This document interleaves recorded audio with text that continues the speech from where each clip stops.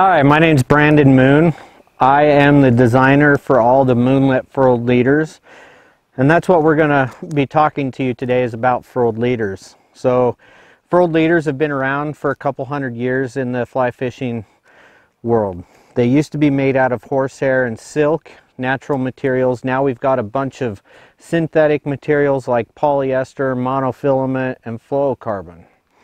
Each of these materials are going to bring a different characteristic to your leader. Today, most furled leaders are made of straight thread. Okay, we make ours with a combination of thread and monofilament or thread and fluorocarbon. We use the strongest possible polyester thread on the market today. So let's do a little bit of history about furled leaders and how they're made. We already started and said they were made over 200 years ago. They're made like a small fine tapered rope. So they're twisted together, a bunch of strands of material, and that's going to add strength and durability. The other thing that it does is it's going to have less memory and it's going to give you better turnover, presentation, drift, control, and durability. These, these are things that are important in a leader. When you think of a regular tapered leader, you're not thinking of something that's strong and durable. People are getting a good season to two out of our furled leaders by simply changing out the tippet versus clipping down the leader and replacing the whole leader. You're going to fish multiple sizes of tippet with one leader. We fish a wide variety of sizes of tippet from 0x all the way up to 7 and 8x on one one leader. You're just going to change out the tippet size to match your fly. The longer the the smaller the fly, the longer your tippet. We fish generally anywhere from two feet to seven feet of tippet on our furled leaders. This is a little bit longer tippet than normal on a furled leader, and that's because of how we construct ours, okay? Our furled leaders are constructed again with that combination of materials and that's so that we add the stiffness to our leader that's needed to help turn over flies and cut through wind.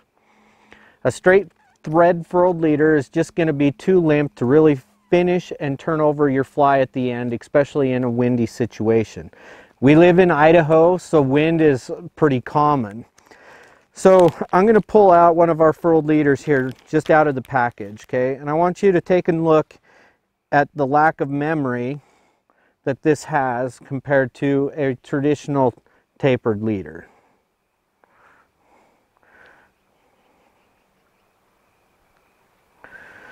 So you can see that I have very little memory in this leader, okay?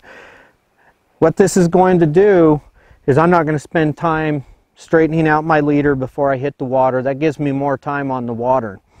Also, not having that memory is going to transfer all the energy from my fly rod to the fly line to my fly.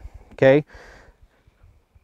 It's going to give me better presentation and better drift because I'm not going to have all the micro drags from the energy stored in my regular tapered leader. So this is just a regular store-bought tapered leader here. And we'll just kind of take this out of the package and we'll see the difference between a furled leader and our furled leaders versus these tapered leaders.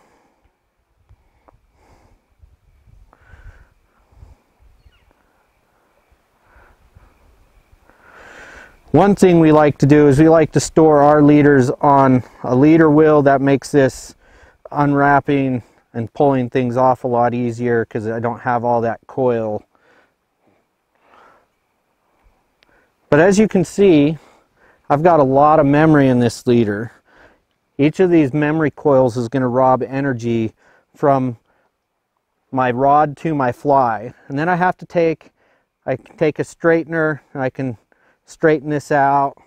And I can do all this and really work on this for a couple minutes. And at the end of the day, it's still going to hold a couple little bit of memory to it. And you're really waiting until you catch a fish and it really pulls that nice and straight and tight to try and get that memory out. You don't have to do that with the furled leader. You're just going to take, pull it right out of the package go hit the water and fish. So our furled leaders come with a couple different attachments, okay? When you attach to the fly line, all of them are going to come with a loop to loop, and you're going to attach to your fly line with a loop to loop connection. But then you have the option of either a shore loop or a tip ring or a micro swivel with our furled leaders. This makes switching different flies and switching different uh, tippet a lot faster. You're going to tie either an improved clinch knot, Orvis knot, Davy knot, whatever fly you tie to, or knot you tie to your fly, you're going to tie to that tip ring or swivel. This is going to make things quick, easy, effortless, but it's also going to save the durability of your leader and make them outlast any others on the market.